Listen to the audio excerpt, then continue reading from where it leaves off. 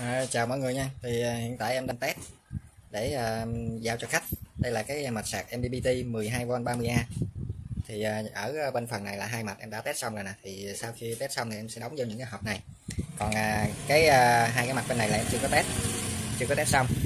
Thì à, để test nó thì em cũng à, lắp lên à, trên đây. Ở trên đây thì em có lắp hai cái đồng hồ sẵn rồi. À, một cái đồng hồ phía trên này là tấm pin mặt trời xuống nè. À, cái đồng hồ dưới này là nó sẽ ra để nạp ắc quy thì uh, trước tiên uh, khi uh, mọi người mang về thì mọi người uh, lấy cái ắc quy của mọi người uh, mà lúc ắc quy uh, mọi người nó đang đối điện nha khoảng 11V thôi. Nó càng đối điện càng tốt để uh, khi mà mọi người đấu vào đây nè thì mọi người sẽ chỉnh được cái dòng nạp của nó ở cái mức tối đa nhất có thể. À, bây giờ thì em sẽ bật cái CB của tấm pin mặt trời lên. Thì cái tấm pin mặt trời của em là 405W á, và cái điện áp nó xuống hiện tại bây giờ là 42,9 13V coi như là 43V và nó thông qua một cái bộ MPPT này là 12V 30A thì cái điện đầu ra là 14.39V thì ở trên ờ, cái mạch này nó sẽ có hai con chiếc áp hai con chiếc áp tinh chỉnh nha mọi người. Tức là chiếc áp này thì mọi người ờ, vặn ờ, nó rất là nhiều vòng. Khi mà vặn thì nó sẽ thay đổi cái điện áp đầu ra nè. Ví dụ như ở đây em đang sạc cho cái bình ắc quy. Ắc quy trị axit thì em chọn là 13V 39 bây giờ nếu mà sạc cho bình Live 4 thì mọi người sẽ vặn cái chiếc áp này lên chiếc áp phía bên trên này ha. Mọi người sẽ vặn lên nó là 14 14 65 nha. 14.65V hoặc là 67V gì đó. Thì mọi người sẽ vặn đúng cái mức điện áp để sạc. Rồi 14.68V để sạc cho pin lại V4 còn nếu mà sạc cho bình ắc quy á, thì mọi người chỉnh trước nha. Sau à, sau khi chỉnh xong thì hãy kẹp vô bình nha. Rồi mọi người à, sạc cho cái bình ắc quy viễn thông hoặc là ắc quy khô á. Thì mọi người à, chỉnh nó là 14V 3 thôi tức là dặn ngược chiều kim đồng hồ thì nó sẽ giảm điện áp ha. Thuận chiều kim đồng hồ thì nó sẽ tăng điện áp lên. Và cái chiếc áp ở phía bên dưới này nè. Chiếc áp ở phía bên dưới này là chiếc áp để chỉnh cái dòng cái dòng nạp thì à, khi mà mọi người à, các quy mọi người đói á, thì mọi người gắn vô à, trong cái bộ sạc này thì mọi người mới chỉnh nó dễ hơn ha. Thì bây giờ trước tiên mình vặn trước đi. Đó, mình vặn lên cái chừng vài vòng đi. Thì nếu mà thuận chiều kim đồng hồ nó sẽ tăng dòng nha. Còn ngược chiều kim đồng hồ thì nó sẽ giảm dòng.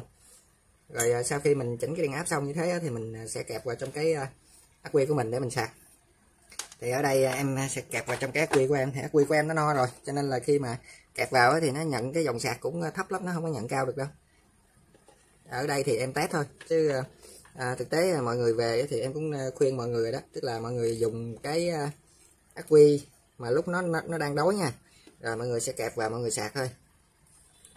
Đó thì khi em kẹp vào nè nó nhận lúc nãy nó nhận được cái dòng 3A bây giờ thì nó còn lại là 1.25A đấy và nó đang nạp trong ắc quy nè. Thì à, cái quát nạp xuống là được 16W à, nè. À, cái quát của tấm pin xuống là 21W thì hiện tại ở trong Nam của em là không có nắng nhiều nha mấy ngày hôm nay. Nắng rất là kém luôn á.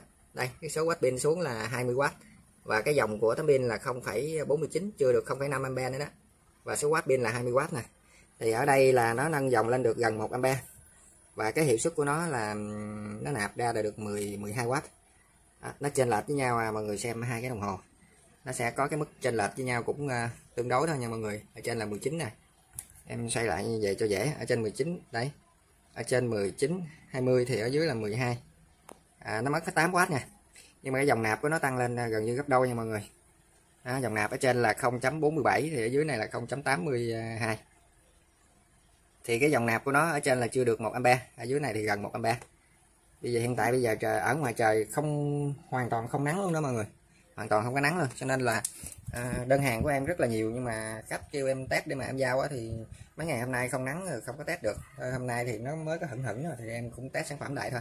Và um, khi em test thì em lưu ý như thế đó. À, một số vấn đề cần lưu ý thì trước khi ờ, kẹp vào trong cái ắc quy để chúng ta sạc á, để chúng ta chỉnh cái điện áp ra trước. À, lúc nãy em chỉnh cái điện áp ra mọi người thấy rồi đó. Chỉnh điện áp ra sau đó thì à, mọi người nhớ là các quy của mọi người xả điện trước đi. Xả cho nó xuống khoảng còn 11V để nó, nó xuống nó đói á, thì lúc đó chúng ta kẹp vào và chúng ta chỉnh cái chiếc áp ở phía dưới này nè. Chiếc áp phía dưới này chúng ta vặn thuận chiều cái đồng hồ thì nó sẽ nhận được cái dòng sạc tối đa nhất có thể. Và chúng ta sẽ kẹp vào đây kẹp vào à, trong à, cái bộ sạc này để chúng ta sạc. Thì cái bộ sạc này là em nâng cấp lên đến cái phiên bản thứ ba rồi nha. Cái à, quạt này là nó cảm cảm ứng theo nhiệt độ nha. Khi mà cái à, tản nhiệt này nó nóng nè thì nó mới quay thôi. Cái bình thường nó sẽ không quay nha và cái lúc mà cái mạch này nó hoạt động á thì mọi người cũng an tâm. Thì khi nó hoạt động nó sẽ có tiếng kêu va ve va ve nó sẽ có tiếng kêu va ve. Đó là cái dao động của cái cuộn cảm này nè. Với lại à, những cái con tụ điện này nó ngậm điện và nó xả điện á thì nó sẽ có cái tiếng kêu va ve va ve nhỏ ở bên trong á. Mọi người nghĩ nó hư nhưng mà không phải nha. Đó là cái à, nguồn điện nó hoạt động thôi.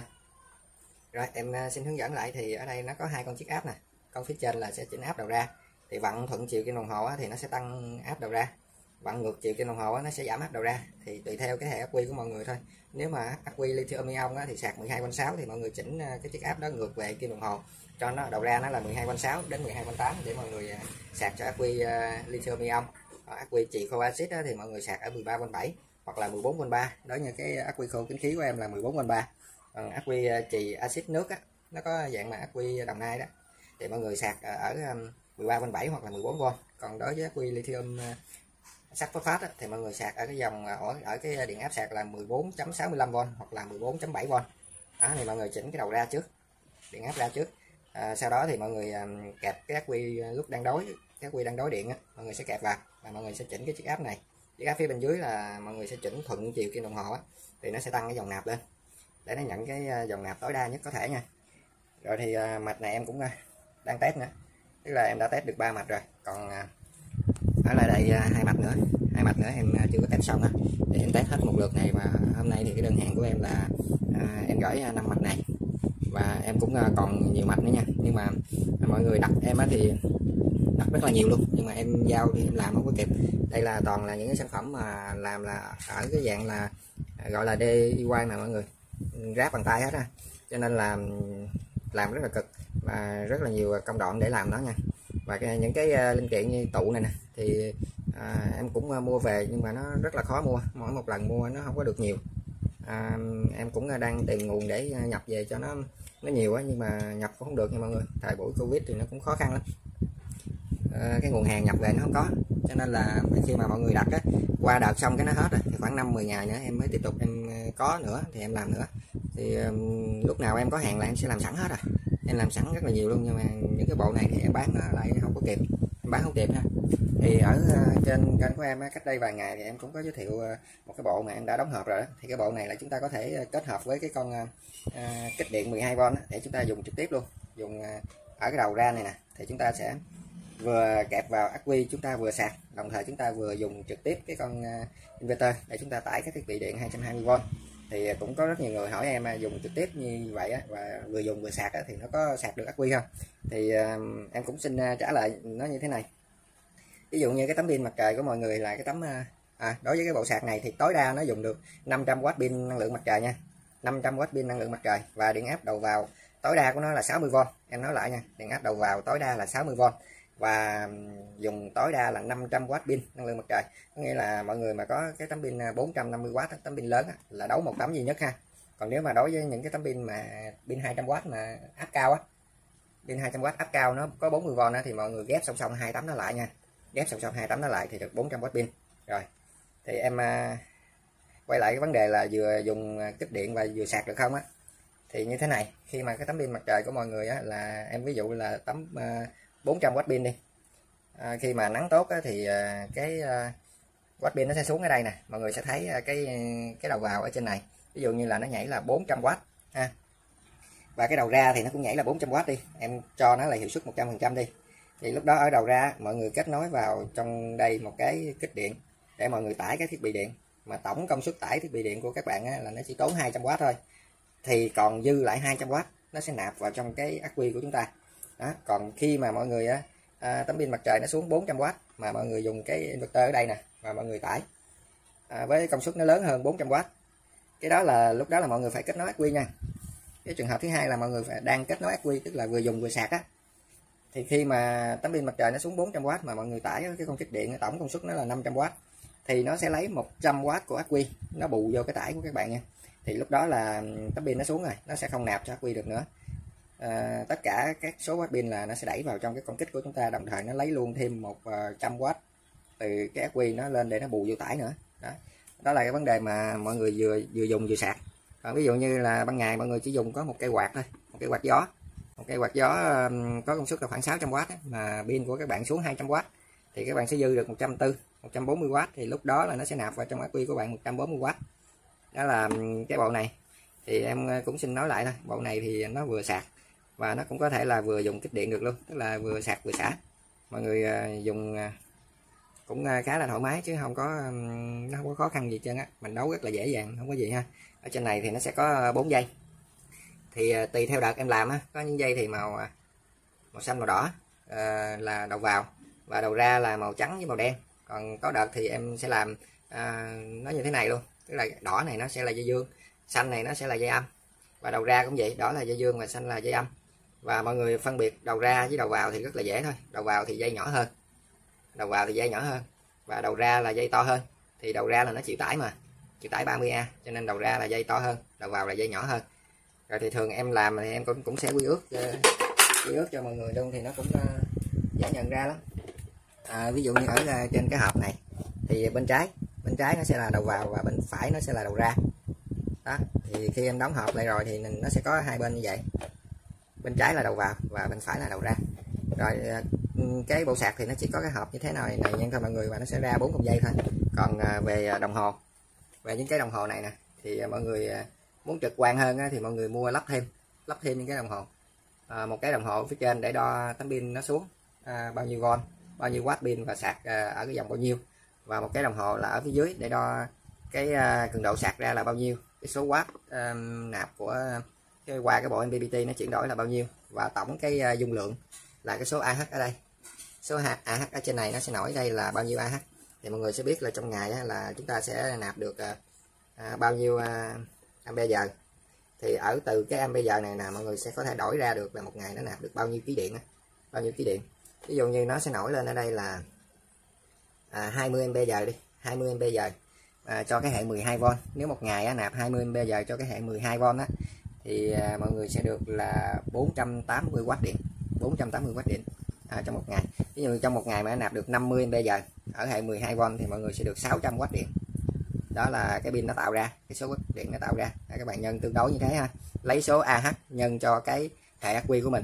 Nhưng mà thường là các bạn thấy hệ quy của mình là không không có phải là 12V chuẩn nha.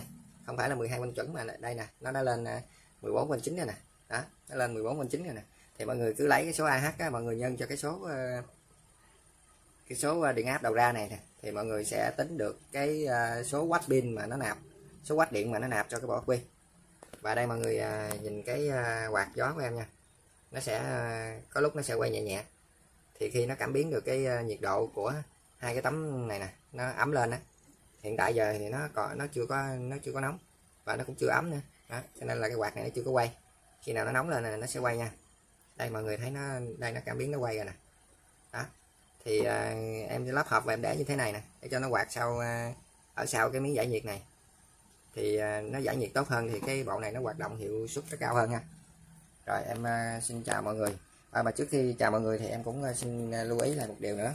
Thì đối với con sạc này á nó sẽ cũng tự ngắt nha mọi người. Khi mà quy của các bạn đầy á này này các bạn thấy cái dòng nó đã giảm xuống rồi nè. Quy của em nó đầy rồi thì nó sẽ giảm cái dòng nạp xuống và cái dòng nạp này từ từ nó sẽ trở về bằng không. Thì lúc đó là cái bộ này nó sẽ không còn nó không còn nạp nữa nha. Ắc quy đầy tự ngắt. Và đồng thời à, ban đêm thì điện lưới à, điện từ ắc quy nó sẽ không có xông ngược lên cái tấm pin của chúng ta nha.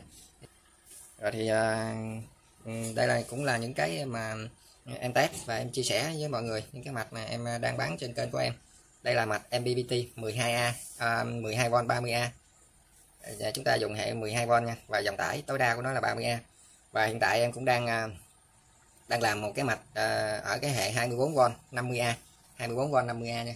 Và cái mạch đó thì em chưa có bán em vẫn còn đang trong cái quá trình làm và test cẩn thận để à, nó hoạt động như thế nào. Khi mà nó hoạt động ổn rồi thì em sẽ giới thiệu lên với mọi người nha.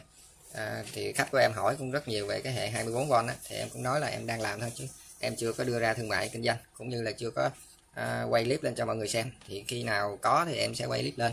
Mọi người nhớ đăng ký kênh để theo dõi khi nào mà à, theo dõi kênh của em ấy, khi nào mà em đăng những cái video à, clip về cái mạch sạc MPPT 24V 36V 48V á thì à, mọi người à, à, sẽ được xem trước những cái video clip đó nha. Thì ở trên thị trường á, những cái à, bộ sạc MPPT nó ừ, của chính hãng á, thì nó khá là, là đắt tiền. Bởi vì nó làm kiểu dáng công nghiệp rất là đẹp và nó có lập trình sẵn ở trong đó luôn lập trình thông minh trong đó nó nhận dạng được ờ, tự động cái dãy MPPT cũng như là đồng hồ LCD rồi chỉnh ờ, những cái phím ờ, ở trên à, màn hình nó có sẵn. Nó nó dễ hơn cho mọi người, nhưng mà cái giá nó thì cao. Còn cái sản phẩm tự làm thì mọi người thấy như thế này nè, chúng ta chỉnh thủ công hơn và cái về vấn đề mà quan sát về trực quan thì mọi người phải mua thêm những cái thiết bị. Thì nó cũng hơi lu bu rắc rối nhưng mà à, mọi người để ý nó cũng rất là dễ thôi. Mình lắp hai cái đồng hồ vào là mình đã biết được rồi. Và muốn điều chỉnh thì mình mở hộp nắp hộp ra và đây trên cái nắp hộp nó có bốn con ốc trên này nè. Mọi người mở cái nắp hộp ra là mọi người đã ừ, chỉnh được hai cái con chiếc áp này nó cũng dễ dàng rồi ha. Mà cái giá thành của nó thì chúng ta chấp nhận được. À, đối với cái bộ này thì nó rẻ hơn cái bộ MPPT 45A ờ, thần thánh mọi người biết. Nó rẻ hơn khoảng gấp ờ, ờ, bốn năm lần so với cái bộ đó rồi thì à, có nhu cầu mua thêm à, hai cái đồng hồ này thì mọi người nhắn cho em ha. À, trên clip này luôn nhắn qua số Zalo khi đặt hàng á nhắn qua. Và để tiện hơn thì à, có, thể là liên hệ với em để em bấm sẵn luôn cho những cái đầu code MC4 này về để mọi người kết nối vào trong ắc quy cho nó dễ hơn.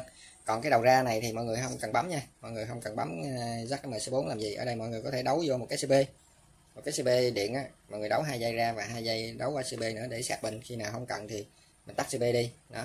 Thì nó cũng ờ, đảm bảo cho chúng ta. Khi mà tháo lắp nó dễ dàng hơn ha còn ờ, dắt MC4 này nếu mà đặt em bấm thêm á thì à, mỗi một cặp như vậy thì em chỉ lấy giá vốn lại thôi là 10 ngàn một cặp thôi chứ em không có tính công ha. Đó thì em bấm vào sẵn hai đầu xuống như thế này nè.